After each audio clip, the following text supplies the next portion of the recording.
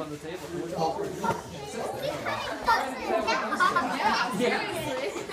Um, she, For a second, I thought she was gonna break nothing. that glass like, is, is one step up from the glass they use in the men's prison in Milan. So this is really strong glass. This is this is gorilla proof glass. She It's- is amazing. I've never seen a bobcat.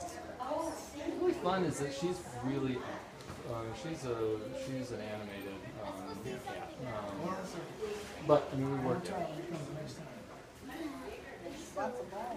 Does she ever climb around? Oh yeah, she spends a lot of time sitting up a high. She loves it. up there. Oh yeah, she just jumps up there. Uh, she jumps onto the roof, that little awning over the door.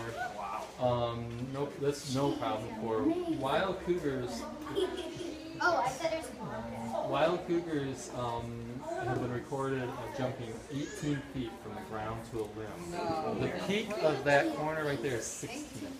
So if you can imagine a cougar sitting on this floor and jumping 18 feet up to a tree. limb. She, she's a small cougar. She'd probably only be able to jump 12 feet. But it's still You pretty can stay impressive. up there. Still, that's still pretty impressive.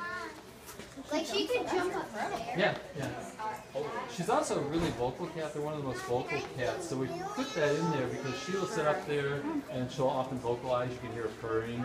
Uh, she's she's the largest of the purring cats. Um, so she's slightly more closely related to a house cat than the lions or leopards. But they still get big. They're the fourth largest cat species on the planet.